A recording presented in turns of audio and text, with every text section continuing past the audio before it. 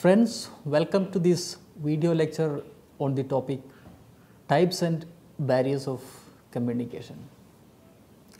I hope you are enjoying this course on selection and integration of technology in the educational processes, where we are discussing about the various technologies and ICTs which you can integrate in the different modes of education such as face to face education, open distance learning, online learning and blended learning. Now in the previous two lectures we have discussed about the concept of communication, the components of communication and the process of communication and I had also given some ideas about the technologies or ICTs which we can use in different modes of education.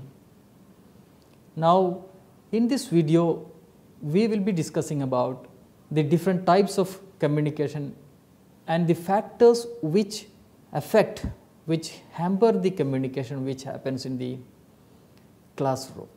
So to start with I would like to recollect the concept of communication which we have discussed.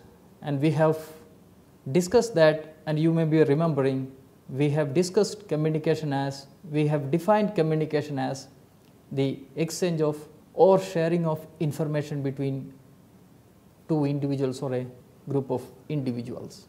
One of the simplest basic definition which we can give for communication. Now i would request you to think of the communication, the different types of communication which happens in a classroom situation. Say for example, as a teacher I am teaching to a group of 50 students. So I will be teaching them some concept, I will be asking them to engage in some discussions, I will be giving them some assignments. So many such things happen in the classroom. And before teaching, before I undertake the teaching session, I may be preparing the lesson plan also. So while preparing the lesson plan, I may be thinking of something in mind, the way the content, the way the concept is to be taught to the students, the activities to be given to the students, and how I should manage the classroom teaching learning activities. So I may be thinking of many activities in my mind. This is one thing. The second thing is now when I am engaging in the teaching learning process and when I am making any verbal communication, see I will be sometimes nodding my head, I will be sometimes maybe laughing, I may be making use of my hand the way I do now, right now. So when, when I speak in the classroom, when I give a verbal lecture, when I give a lecture in the classroom, I make use of my body parts too. So friends, in general, this is how when somebody communicate, when somebody talks to another individual, they speak at the same time they also make use of their body parts. So accordingly, the way the message is conveyed, according to the type, the way message is conveyed, we can have two types of communication. One is the verbal communication and the second category, the second type is non-verbal communication. So in broad, we have two types of communication, one the verbal communication and the other is non-verbal communication. And most of the teachers, when we communicate, we make use of both these types of communication. Now we will see in detail what is verbal communication, the different types of verbal communication, both in verbal and non-verbal category. When we talk about the verbal communication, it is saying that verbal communication is the expression of ideas with the help of speech sounds or written symbols combined into words and words into sentences that could effectively convey meaning. Maybe this is one of the definition we can give for verbal communication. What does it say? See, this is nothing but you are conveying the message, you are sharing the message, information with the help of speech sounds where you will see the written symbols will be combined into words and words will be combined into sentences and that is what is happening in this video lecture also. I am talking my words are combined into sentences and it makes some meaning when I complete the sentence. And when I am talking about the verbal communication, I am making my audience understand about what is verbal communication. For that I give lot of ex examples, I explain what is verbal communication and mostly this is happening through my speech, I talk, I deliver a kind of a video lecture. So you can see even in this video lecture also I am talking and to support my talk some graphics or some images are also added, some text material is also added. But majorly my lecture is the lecture method. I am speaking to you, I am conveying this information message through my speech. So this kind of conveying information through verbal symbols, through verbal speeches, we call it as verbal communication. And I would say in most of the classrooms, either in the school or higher education, verbal communication is mostly carried out.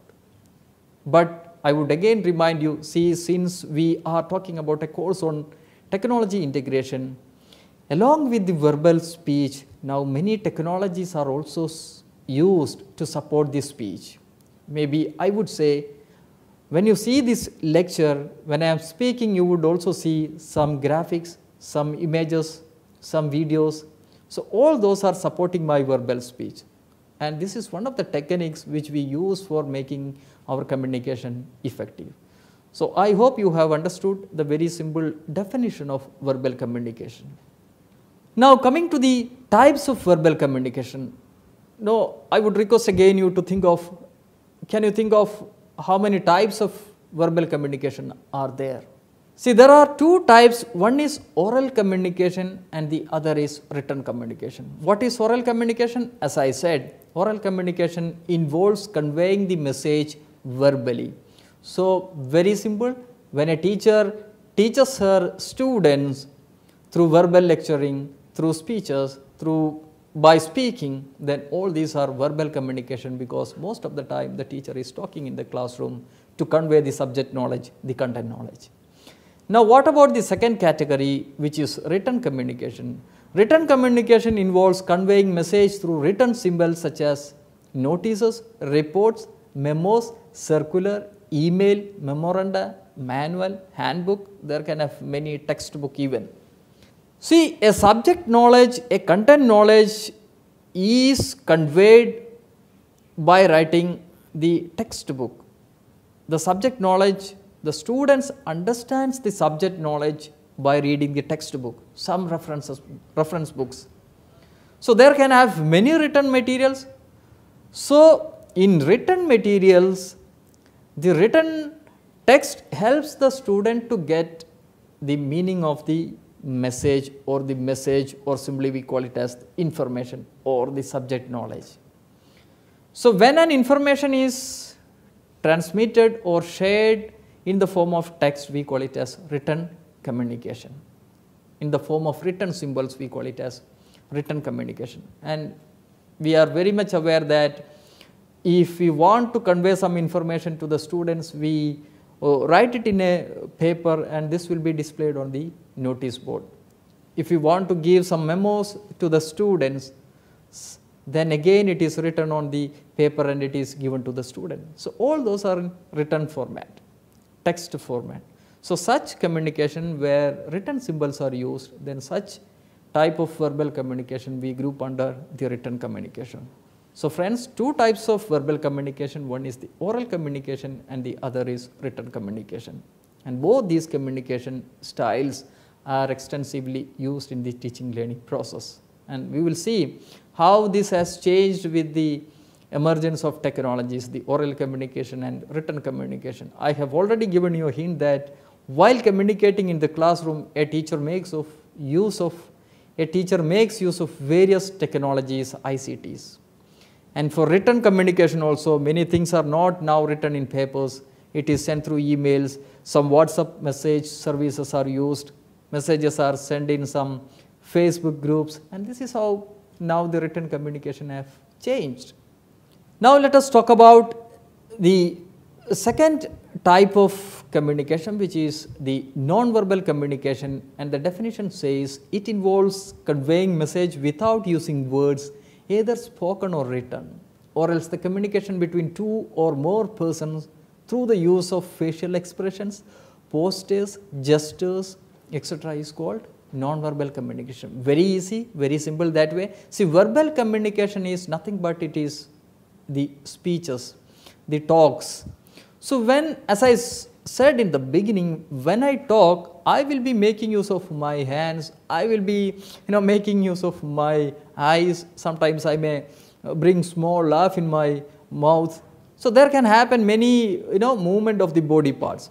It is always accompanied, the verbal speech is always accompanied by such simple small body movements and it should not be look very awkward. It should be in the at the at the minimal level and it should come automatically. You should not make deliberate attempt to uh, you know make body movements. So always the verbal communication is accompanied by the body movements and such when body parts or when we convey the information without using words either spoken or written and in a big way if it is if the body movements are used for conveying information this is non-verbal communication.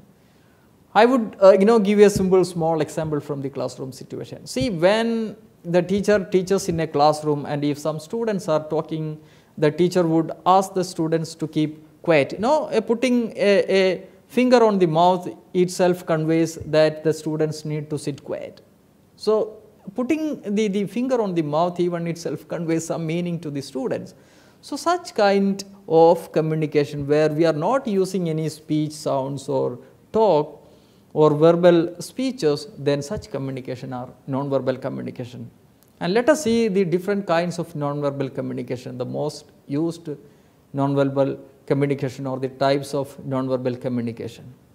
See the major types of non-verbal communication are one the personal appearance, then the posture, the gestures, the facial expression, the eye contact. As I said, see, if you are going to a classroom for teaching learning uh, process or if you are engaged in the teaching learning process, of course, you need to dress up very neatly. It, it should not be like you are going to some market where you are wearing very casual dress because you are going to teach. So, it should be you know properly dressed, it should be uh, neatly managed and you should maintain a good posture. So when you are engaging in the teaching learning process, you should not sit. I mean like sometimes we see people, I mean like teachers sitting on the benches or desks also. So be in the middle uh, part of your uh, classroom, then give your lecture. If you, if you are engaging your students in teaching learning activities, go to the students, clear their queries. So, and whenever you stand in front of your students, you should maintain a good posture. Then the gesture also, the body movements that you use. As I said, you forcefully do not bring some body movements, it should come automatically when you explain something. Then the facial expression also, very important as I said. If you want to make your uh, students sit quiet in the classroom, even uh, during, I mean like Uh, your eye contact or your facial expression would work for that you don't have to talk anything. So these are some of the types of non-verbal communication usually the teachers use in the classroom. Friends, I would also like to say both the type of communication, the verbal communication and non-verbal communication is also important in the case of, I mean like when you are making any digital teaching learning resources. As I said again, I would remind you, I would be quoting examples uh, from the technology point of view because this is something which would help you to understand the use of technology in the teaching learning process. So, see when you are giving preparing a video program, the way you sit, the way you talk, the way you convey information to the students, everything matters. It's, it's not an easy job that way. You have to be properly dressed, you have to have the adequate content, this should be presently very beautifully, you should make your students interactive. So, there are many such factors. So, all those types of factors maybe we can get a clue from the different kinds of communication. So, when you are making such lectures, when you are making any audio program, when you prepare some graphical images, all this needs to be kept in mind, the different types of communication and this plays a very important role when we prepare any digital teaching learning resources, especially like the one I was quoting the video programs and all. Friends, now I would be shifting my discussion to a different uh, type of communication. We have talked about the verbal and non-verbal communication that is one type of categorization.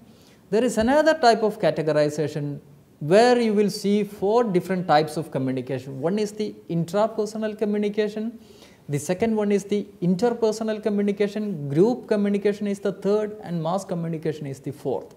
Now let us briefly understand what are these types of communication, the intrapersonal communication, very simple and very, I mean like the teachers always make use of this communication. Intra means, you know, it's a kind of thinking within oneself. As I said and I have pointed out, see when I am giving a lecture in the classroom and if I see some students talking or not listening to the lecture, my lecture, then I may be thinking of why these students are not listening to my lecture. So, some kind of a thinking goes inside, some kind of a thinking where I am communicating with myself. So, such communications which happens inside or within we call it as intrapersonal communication. The second one is interpersonal communication. Inter means between two. And this is one of the communication types which we commonly see in the classroom. When a teacher communicates with the students, the teacher is communicating with the students. When the student communicates with another student, there are two pupils, two individuals, two students are involved in communication. So, when two individuals are involved in communication, we call it as interpersonal communication. The group communication is also there in the classroom teaching learning situation and this is also very common that way. A teacher is addressing a 50 number of students, 60 number of students say for example. Then here one teacher is addressing a group of students of group of group of individuals. Such communication wherein which one individual is communicating with a group, such communication we call it as group communication. And this is what we see in the normally in a teaching learning situation. We have also seen this type of communication. Suppose I am sending a video program to my students or suppose I am giving a uh, Facebook live lecture, then many students, you know, at a single point of time will attend my lecture maybe some thousand students, 2000 students. So, this is also kind of a group communication. Now, the fourth category is mass communication, where in which mass medias technologies are used for communication and there are many such technologies. Maybe we can say traditional and new technologies also. The traditional technologies like radio, television. Okay, when radio one program is telecasted, telecasted through the um, radio, then this is attended by many individuals, many people. And we have in IGNOU also we have the teleconferencing and radio classes, live radio classes and live television teleconferencing session. It is attended by you know a large number of students. So, such communication when mass medias technologies are used in the communication we call it as mass communication.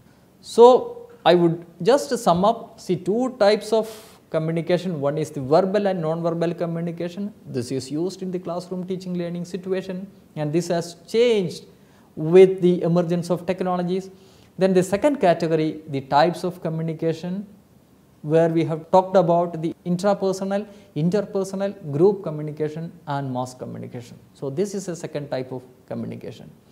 Now friends, we will be talking about the second uh, concept in this video lecture which is about the barriers.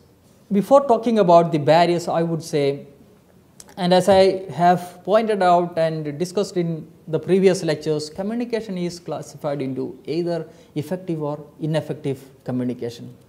And that is why we see most, some of the lectures are not very effective, students doesn't understand anything. As a teacher, if I have a concept to be taught to my students and if I can meaningfully convey that concept to my students, the way I was thinking of, then such communication we call it as effective communication. And if I am fail, if I fail to communicate the concept which I was thinking of, then such communications are ineffective. So, communication falls either into effective category or ineffective category. And why? Why some communications are effective, why some, some communications are ineffective? There are some factors which hamper our communication that is also there. There are some factors as we have discussed in the previous lecture, there are some factors which hamper the communication or distort the communication. Say for example, the noise from the market when I am giving a lecture, some outside disturbances if it is heavily raining. So, there can have many geographical issues also. So, there are many such factors which hamper or distort the communication and we call those factors as noise or barrier. And this is how the beginning of barriers comes into the communication. So, the factors which affect the communication we call it as barriers and now we will see some of the barriers which are usually played in the communication and this makes the communication ineffective. There can have many strategies which you can use uh, the communication effective that we will be discussing in some other lectures. But the factors which makes the communication ineffective, one of them is the is the impact of noises or barrier. So, we will be discussing in brief the different kinds of barriers that appear in the communication. I would say that different barriers like one is the physical barriers which is nothing but see I am giving a lecture in a classroom where 100 or 200 students are sitting okay, and the classroom is very lengthy and if I am talking standing in front of the classroom this may not be I mean like heard by the students who are sitting at the back of the classroom. Why? Because the distance is too much. So, there can have many physical barriers like if the, the you know as I said if the classroom is very big it is going to be difficult and if I am giving a lecture from here and the students are sitting at some far off places, it also creates some kind of a distance. So, physical barriers is one of the barriers. Psychological barriers, see I am going to give a lecture to my students, but I am not you know physically fit today, I have some health issues, then in such cases uh, my, my lecture will not be effective. It is going to be definitely ineffective. This also depends upon my way of uh, you know uh, the way I behave, my beliefs, my attitudes, my interest. So, there are many psychological factors. So, the second barrier I would say psychological barriers. I had already given the uh, you know some kind of examples like it depends upon the my communication is going to be effective or ineffective which is depending upon my uh, beliefs, my attitude, my interest of taking sessions. So, there are many such psychological barriers. Then the socio-cultural barriers are also there. In a classroom sometimes the boys may not be you know willing to talk with the girls, there can have gender issues, all those such socio-cultural issues also are creating barriers in the communication. Then the linguistic barriers are also there. You should be able to as a teacher if, if it is a teacher the teacher should be able to effectively convey the idea for that the language abilities of the teacher also matters a lot. The vocabulary, the accent the teacher uses, the way things are conveyed to the students using of use of simple examples all those matters and all those are related to the language ability of the teacher. Then one of the very important you know barriers is the technical barriers because today we are extensively using technology in the teaching learning process and it is very common that when we give a lecture through online some kind of platforms like the Google Meet or Zoom there can have connectivity issues, uh, the, the devices issues are there, then battery issues, electricity failure, there are many technical barriers.